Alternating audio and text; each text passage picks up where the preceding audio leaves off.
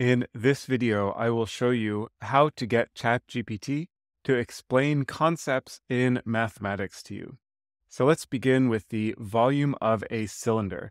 So the volume of a cylinder has a formula that is relatively simple, but it's always hard to remember all these formulas for volume and area and so on. Certainly, the volume of a cylinder has pi and radius and height and who knows what else is in there. Okay, so I give ChatGPT multiple instructions here for the kind of response that I'm looking for. So, how to calculate the volume of a cylinder, explain it assuming that I am a high school student, and also provide a worked example problem. Very nice. So, we get the formula volume equals pi r squared times h, and now ChatGPT defines these terms so pi is the constant, blah, blah, blah. R is the radius of the base of the cylinder, and h is the height of a cylinder.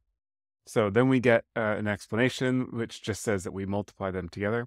And here we get a worked example. So imagine we have a cylinder with a radius of 3 centimeters and a height of 10. We apply the formula to get a volume of 90 pi centimeters cubed. So this is a pretty interesting uh, example because ChatGPT is solving it analytically. So this is the like the real analytic solution because pi is not something that you can express in a finite number of numbers. It's an irrational number.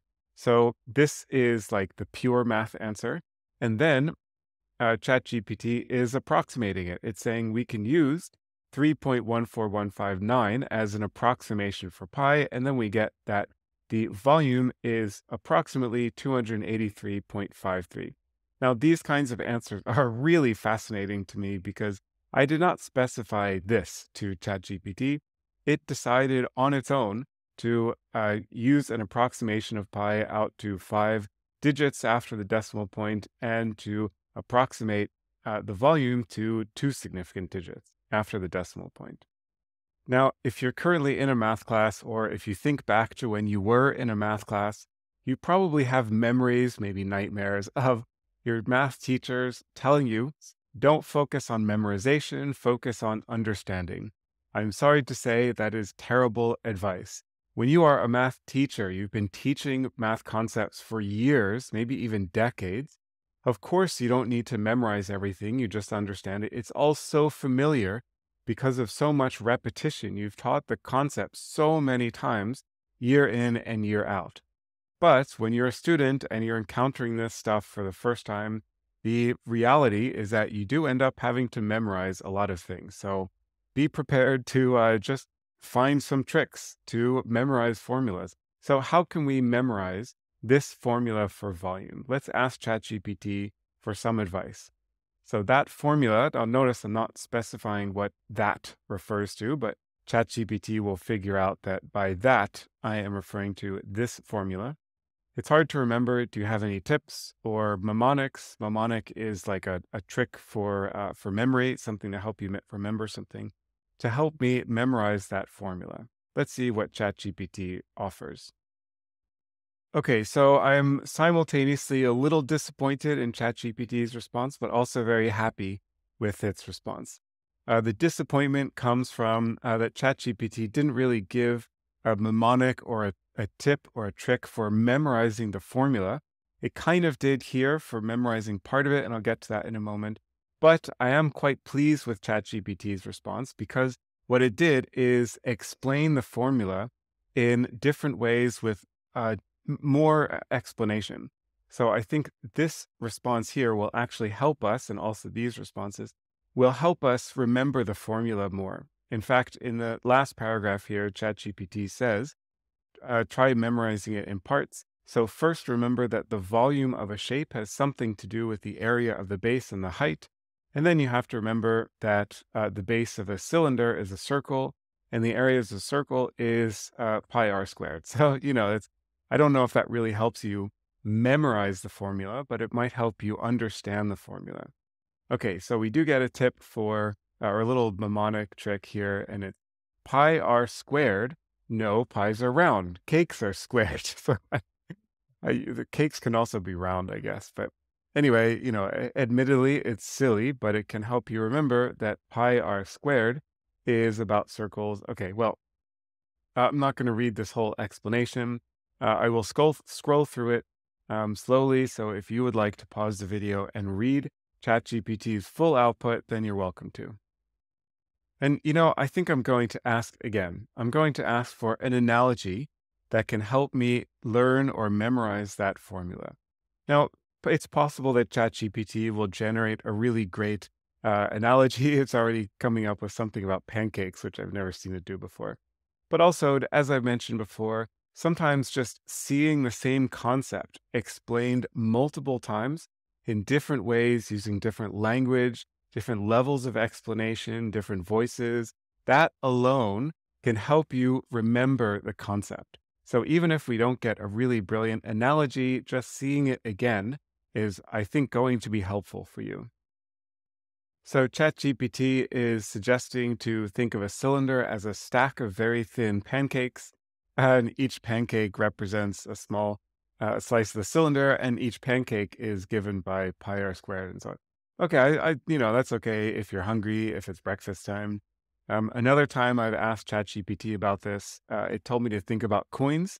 So think about stacking up coins on top of each other, and so I'm, I, you know, if these are useful for you, then that's great. Okay, so next I want to keep working with this cylinder and the volume formula. It's one thing to read about it and to look at uh, some equations, but we also need to work through some examples ourselves in order to get some more experience. So now I ask ChatGPT, please provide an example problem, but don't give me the solution. I'm going to try to solve it on my own, and then I will tell you my answer. So we are asking ChatGPT specifically for a problem without telling us the answer to it. So the example problem specifies that the cylinder has a height of 15 centimeters and the diameter uh, is uh, 10 centimeters. Okay, so I am going to pause the recording and compute this on my own. And I encourage you also to pause the video and to unpause the video when you have an approximate solution. Okay, how'd you do? This was actually tricky, and I didn't even realize that ChatGPT threw a wrench into the works here until I, I sat down to work out this problem. So ChatGPT actually told us the diameter of the base of the cylinder, but of course the formula is based on the radius. So in fact, the correct answer is obtained as pi times 5 squared, not 10 squared, but 5 squared times 15. But here's what I did. I intentionally made a mistake, so I multiplied by 10 instead of by 5. So this is not the correct answer. This is twice the correct answer. I'm putting in something that is incorrect, and I'm curious to see whether ChatGPT will be able to recognize that this is the incorrect answer. Remember that ChatGPT is not a numerical processing software. It is not trained to be a mathematician. It's not trained to do math. So let's see how it does. Okay, this is a really great answer from ChatGPT. It also made me realize that uh, even what I explained to you that I did wrong, I still did it wrong. Uh, I was so, uh, you know, when I paused the recording and I went to work through it, I was so excited about uh, the fact that I was going to tell ChatGPT the wrong answer that I still applied the formula wrong because uh, I didn't square this. So you should square the radius, um, I meant to square the diameter, but I didn't even do that. So this number is completely wrong. It's also wrong, which is something that I admit that I didn't even think about. Uh, but I realized after seeing ChatGPT's answer, I did not include units here. I should have included units that this was 471 cubic centimeters. So uh, I am not ashamed to admit that I was wrong on multiple levels. Although I was only trying to be a tiny bit wrong, I ended up being more wrong. Okay, so ChatGPT says that's close, but not quite correct. Uh, this is a really important reply. I'm going to discuss this more in, um, I forget if it's the next section, but it's in a few sections about um, using ChatGPT to find errors in your mathematical reasoning and in your answers. ChatGPT is not guaranteed to know how to do math. But in this case, it correctly identified that I made a mistake. Okay, so um, ChatGPT explains that if the diameter is 10 centimeters, then the radius is 5. And then here it just goes through the math and tells us how to, uh, to uh, work through the math with the numbers. And it says we can approximate it as uh, 1171. And then finally, ChatGPT says in these calculations, it's important to keep track of, of units. And so your answer should actually contain units like cubic centimeters or centimeters cubed. So I'm embarrassed to say plus one for ChatGPT, minus one for Mike over here. All right. There's one more thing I want to uh, do in this video to extend this uh, demo and just to tell you a little bit more about working with math, but also working with ChatGPT. One of the interesting things about mathematics uh, and equations and formulas, uh, which will allow you to explore and understand concepts in math and will also help you uh, learn math better, is to solve for different things in an equation. So here, this equation is solved for volume. So V is on is isolated on the left-hand side. Everything else is together on the right-hand side. Now, we can also manipulate this equation. We could solve for pi. Actually, we could come up with an alternative definition of pi using the formula for a cylinder. Now, of course, you, are going to get some cancellations and so on. So nothing earth-shatteringly new here that we are discovering. But, you know, we could also solve for, for example, the radius. Okay, so that leads me to my next prompt here. So here I write, so we could manipulate this equation. Now, I'm not saying which equation I'm referring to, but as you know, ChatGPT will infer uh, that we are that I am referring to the volume formula. So I could uh, manipulate the equation to solve for r. So if you tell me the volume and the height of a cylinder, I can compute its radius as the square root of volume divided by pi times height. So this is just me explaining how I'm manipulating the equation.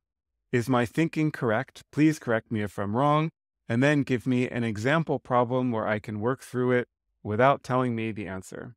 Okay, let's see what ChatGPT can do for us. Okay, so ChatGPT confirms that my thinking is correct. Uh, and it also writes down the formula here, which is just a repeat of uh, what I wrote. And here's the problem with no answer.